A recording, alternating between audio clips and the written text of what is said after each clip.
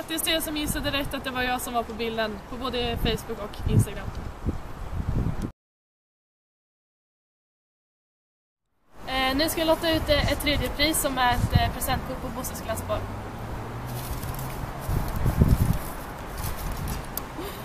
Eh, Lars Vidén.